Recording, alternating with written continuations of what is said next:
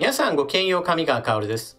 今回取り上げる話題は、人間の老化現象を人間の手で大きく遅らせることができるかもしれない、そういったニュースを取り上げていこうと思います。人間誰しも年齢を重ねていけば、その老化現象というものを感じるものです。人によっては食事の量が変わっていないのになんだか取りやすくなったなといったような基礎代謝の低下やもしくは若い頃は全く病気などしなかったのに気づけば生活習慣病に侵されてしまったなといったような人など様々事情は違うと思いますしまたそういった病気に直結しないような話でも肌の衰えというものは誰しも感じるのではないでしょうか。そういった意味では誰しもがこの老化現象といったものに付き合わざるを得ないわけですがしかしし、その老化現象をもたらしている細胞というものを除去することができるのであれば、この事情は大きく変わってくるはずです。今回はそうした夢のある研究成果というものを日本の大学が発表しているので、これを皆さんと情報を共有しようと思います。それでは一体どのような発表が行われたのか、まずはニュースをお聞きください。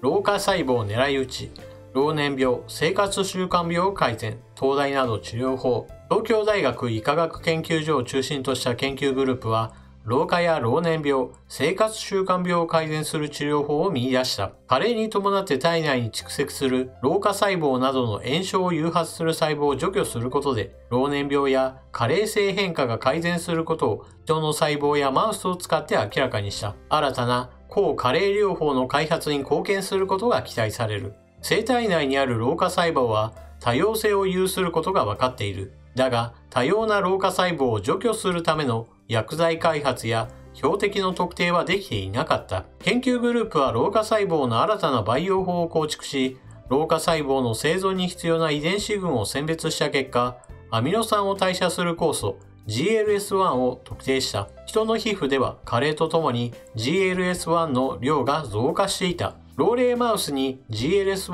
阻害剤を投与すると、様々な組織、臓器における老化細胞が除去され、加齢現象の特徴として知られる腎臓の機能低下などが改善された。また、老化に伴い筋量低下による運動能力の低下や脂肪組織萎縮による代謝異常が生じることが知られているが、GLS1 阻害剤の投与によりこれらも改善された。様々な加齢関連の疾患モデルマウスに GLS1 阻害剤を投与したところ、肥満性糖尿病や動脈硬化症、非アルコール性脂肪肝の症状が緩和することも分かった。九州大学や新潟大学、慶応義塾大学、理化学研究所、国立長寿医療研究センターとの共同研究。それでは記事の効果まとめ。全体としてはまず、加齢による老化現象で様々な問題が発生するわけですが、それらについて改善傾向が見られるということが今回の研究成果です。筋肉量低下の改善、臓器の機能低下の改善、肥満性糖尿病の改善、動脈硬化の改善などです。そして、マウスだけの話で止まっているのかなということを見るために、東京大学医科学研究所のプレスリリースを読みましたら、このような一文がありました。現在 GLS1 阻害剤は有効ながん治療薬として臨床試験中であり、本研究を足がかりとして GLS1 阻害剤を用いた老化細胞除去による革新的な抗加齢療法や、がんを含めた老年病や生活習慣病の予防、治療薬の開発にもつながることが期待されます。ということで、マウスの研究だけではなく、実際に人間が使うがん治療薬としての臨床治験がもう行われているそうです。ここまで記事を紹介してきたわけですが、基本的な老化細胞とは何だろうかといった部分についてもう一度押さえておきます。老化細胞は細胞の中にある DNA が傷つくことなどにより分裂をやめた細胞のことです。年を取るとこの老化細胞が様々な組織で増えます。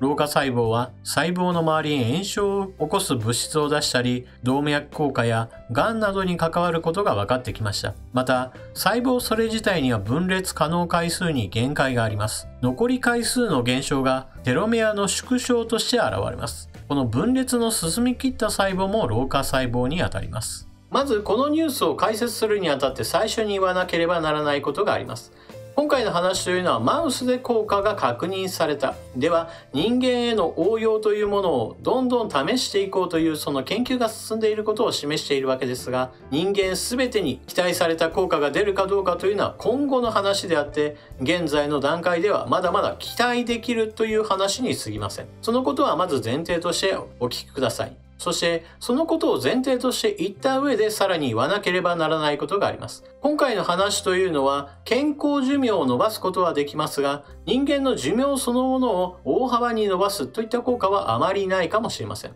というのも、老化細胞の説明の中で私はテロメアの減少についての話をしたわけですが、今回の GLS1 阻害剤というのはそうしたテロメアを伸ばす効果はありません。ですから、細胞分裂の回数それ自体には何か影響を与えるものではありませんから、人間の寿命そのものが大幅に伸びるようなわけではなく、あくまでも健康寿命が伸びますよという話です。ただ、そうは言っても、健康寿命が伸びるだけでも私は非常に素晴らしいことだと思います。例えば人間が生きていて、だんだん年を取ってくるにつれて、その加齢現象に悩むようになるのは、どうしても避けられないことです。若い頃はなかなか病気にならなかったのに、高齢になってくると体のあちこちにガタが来て、そのために病院通いも多くなって、同じ年齢の友達と集まると必ず健康に関連する話題ばかりしてしまう。そういったことからもわかるように、年齢を重ねるということが多くの人々にとって病気に直結するような要因でもあります。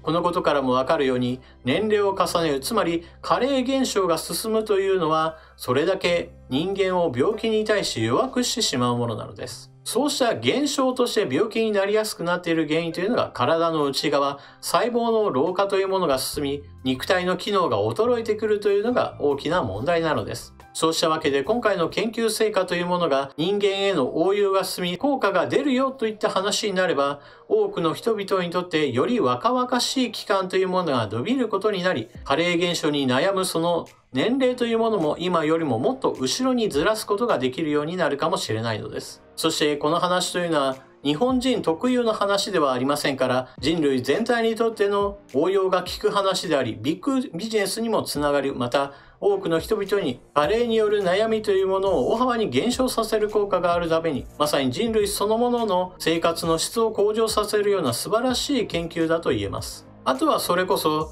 マウスの時はこんなにうまくいったのにななんで人間ではうまくいかないんだろうというように研究が途中で止まるかもしれません。また日本においてはかつてはスタップ細胞の問題などもあり特定の研究者の時にはうまくいくんだけどその他の人たちがやっても再現することができないといった問題などが今回の研究成果などにつきまとわないことを祈ります。ただしこの点について言えば少なくとも多くの医療機関が研究に参画しておりこれだけの研究者たちが集まった上での研究成果発表なのですからそのような特定の人物に頼るような話ではないとは一応思いますというわけで今回のニュースは日本の研究成果がもしかしたら人類そのものに大きな貢献をするかもしれないという朗報でした。今後この研究が進み、人への応用が進めば、きっと大きなヒット商品が次々と生まれると思います。まずは医療分野から始まって、そこからの美容や健康に関連する商品化なども当然出てくるでしょう。それらの商品が私たちの手元に来ることが